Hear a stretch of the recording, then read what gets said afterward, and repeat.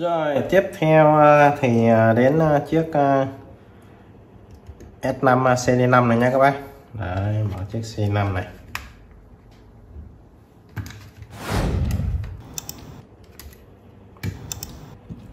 Đó rồi công cụ thì cũng chỉ vậy thôi. Đó một tơ vít này. Giờ làm cái manh này.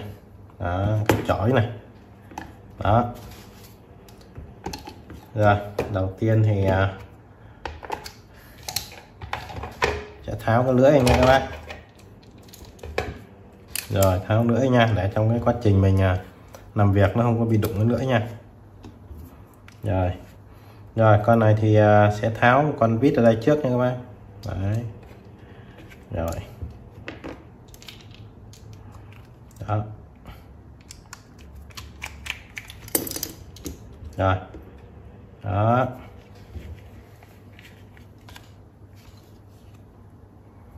Rồi tiếp theo thì sẽ bỏ cái phần ốp cao su này nha. Đấy rồi.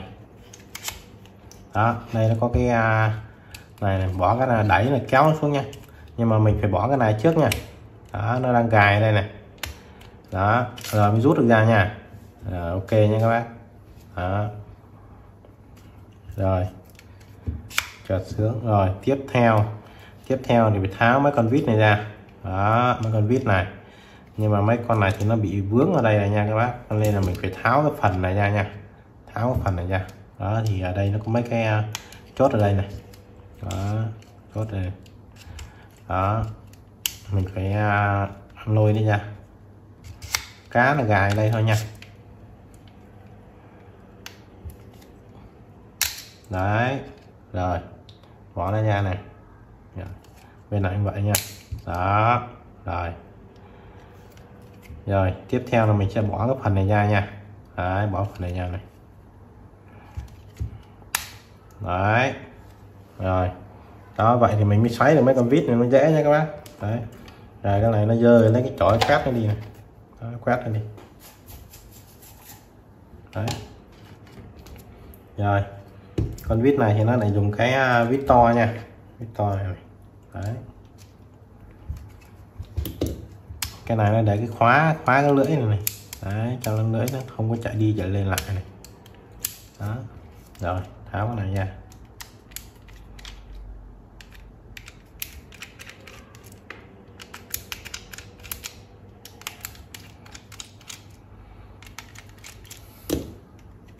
Đấy vít này. Đó các bạn để ý nha nếu nó bằng nhau thì để cùng một cái được chứ nó mà khác nhau thì để riêng nha phải nhớ nha các bạn rồi. Rồi. Coi còn con nào không? Không mình nhấc được ra. Đấy. Rồi nó nhấc ra nha các bạn rồi nhìn bên trong của nó này. Đây là những cái giòn nha. Đấy, giòn chống nước này. Đấy. rồi. Cái này thì à, sẽ nhấc nó lên nha. Đó nhưng mà cái phần này là lôi nên nó cũng hơi khó nhá cho nên là các bác phải khéo tay nha đó nó sẽ gài trong cái hướng như này. Thì các bác sẽ nhấc cái phần này lên trước nha. Cái này tiếp điểm vào cái cục sạc. Đó nhấc cái phần lên trước. Đó rồi các bác kéo ra như này nha. Đó, nhấc này. Rồi nó kéo ra như này. Đấy đây. Đây nha các bác. Đây đây là cái gài này. Đó, đây cái tiếp điểm này. Nó sẽ đẩy vào như này này. Đó. Rồi. Rồi đó đây. Sẽ dùng một cái cục pin to nhé các bác. Đó cục pin to này. Đó pin Sanier này đó ion 10 nha. Đó Sanier nha các bác. Rồi. Đó, thì à, cái đó, cái này nó sẽ là những cái cục pin như này nha. Đó pin Sanier này. Đó, cái cục này nó to lắm các bác, nó to đắt tiền lắm nha. Đó ion 10 này. Đó. Đấy Sanier nha. Nó có chiều âm, chiều dương nhé các bác. Này các bác phải chú ý nha, đây chiều dương này, chiều âm này. Đó, đây chiều dương này. Rồi đấy. Rồi neon 10 nha. Đó senior nha các bác. Đấy. Để rút cái này ra và đặt cái này vào. Đấy, vậy thôi, ha. Vậy là chạy bình thường. Đó. Nha. Đó, nó đơn giản vậy thôi ha các bác. Tại vì cái này nó còn pin mà em chỉ à, có tháo ra để hướng dẫn các bác cách tháo thôi và lắp thôi. Đó. Đó. Rồi, xong rồi. Các bác lắp xong rồi nha. Thì các bác lại lắp nó lại rồi úp cái xước này các bác đẩy nó vào theo cái chiều như này nha. Đấy, đẩy cái này vào trước nha. Cẩn thận luôn cái là để lệch cho nó gãy cái ờ, cái tiếp điểm này nha các bác. Đây này tiếp điểm nó sẽ xuống như này này. Đấy nói chung là phải để ý nha các bác. Đây. Đó chứ mà để mà không có để ý mà mà để ngoài cái rãnh nha mà đẩy vào nó gãy cái tiếp điểm đấy các bác. Đấy. Đây này cái ở dưới này, này. Và dưới nó sẽ tiếp điểm một cái sắt ở dưới này nếu như mình mà chưa tới, mình đẩy vào nên nó cành như này, lại là nó sẽ gãy nhá đó, nên là mình phải ờ, kéo tay nhé, cái đoạn này em dừng nó lại để em ờ, lắp vào cho cẩn thận nha các bác, không nó mất thời gian nha. Đó, rồi, rút vào rồi. Giờ bật nó chạy này. Đấy ha đó, vậy là xong. Rồi, chúng ta lại lắp cái phần này lại. Đấy, đây này. Đó. Chú ý nha, gài nó vào nha các bác này.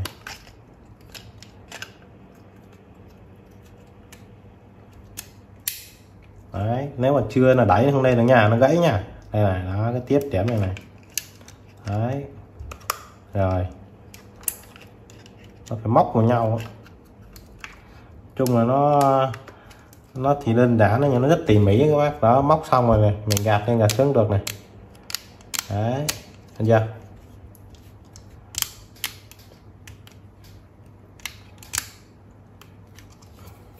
Đây này. Cái này nó đang lệch ra nha. Mình sẽ đưa nó vào đúng cái này. Đấy. Rồi. Đó. Các bác phải để ý cái phần này nha chứ không là lúc là không gạt được đâu. Đấy. Nè. Đó. Nó phải như này nha. Đấy. Khóa cổ mà. Này. đấy. Này đó như này khóa. Đấy, khóa nó chạy được như này đó, ok nha. Rồi. Rồi, mình xoáy à, con vít này thôi. Đấy, bốn con vít giống nhau.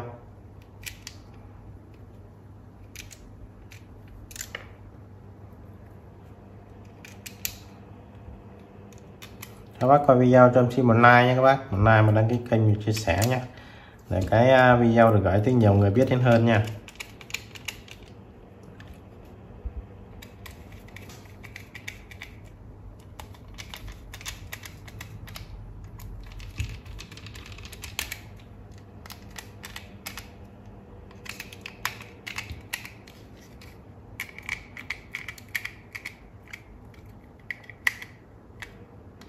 Đó sẽ đều tay nha. Vừa tới rồi nha. Nó có giòn cao su rồi. Đấy. Rồi, ok. Đó. Rồi, giờ lại nắp nó lại thôi. Nắp cái này vào nha.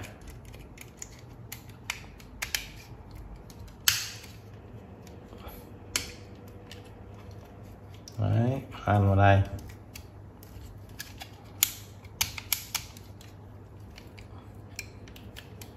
Rồi, nắp cái này lại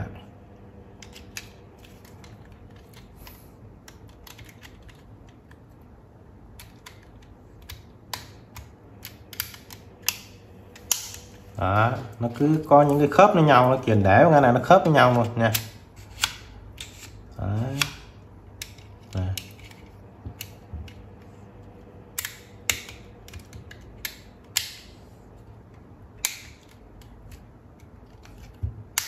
Đấy khít chưa? Đấy, cái này nó làm chuẩn đúng không các bác làm khít luôn. Đó. Này lên xuống ấn này. Đấy. Rồi áp lại cái này thôi. Đấy lắp vào đây. Đẩy lên. Rồi cho cái này nó vào cái à, cái chốt cái này là để sạc đó các bác. Này là dùng cái à, dùng cái bộ sạc á.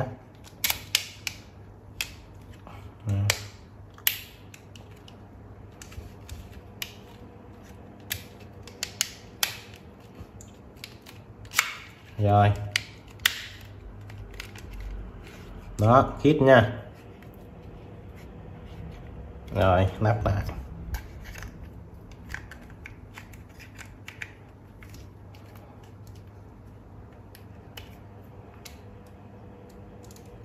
Này cái bé.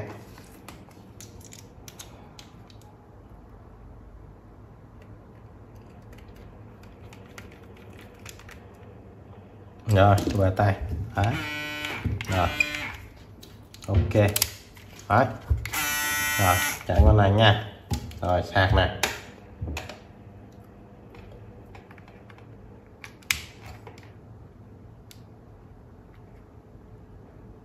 đây chưa bật điện.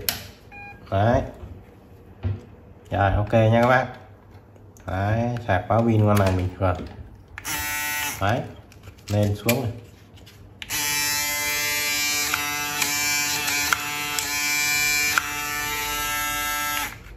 Khóa cổ này. Cái này nó nóng này nhé đấy còn này khóa nó trượt trượt này. Đấy. Này nóng này đó. Rồi thì cái à, video hôm nay em hướng dẫn các bác thay pin chiếc máy cậu dâu Brown CD5 nha. Đó thì à, các bác coi video. À, cho em xin một like các bác. Một like và đăng ký kênh chia sẻ nhé để video được gửi tới nhiều người biết đến hơn nhé rồi xin chào các bác.